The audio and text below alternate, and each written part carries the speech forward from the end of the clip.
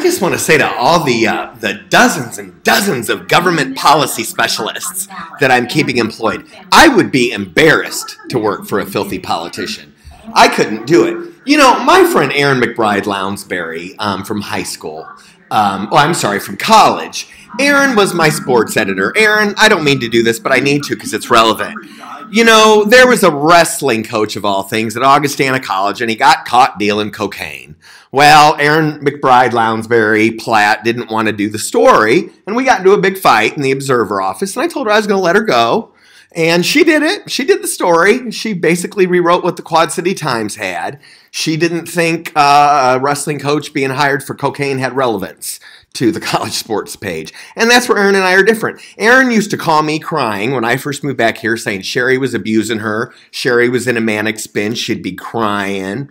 I'd talk Aaron down all the time. And Aaron, you know that's the truth. The Rock Island Argus knows that's the truth. Of course, that's now owned by Filthy Lee Enterprises. Lee Enterprises is going to get it. Everybody's going to get it. Have a good one. What did I come on for? Oh, I don't know. I must have said whatever it was. I'm going to hit that bong again. I'm very grateful to the cannabis program.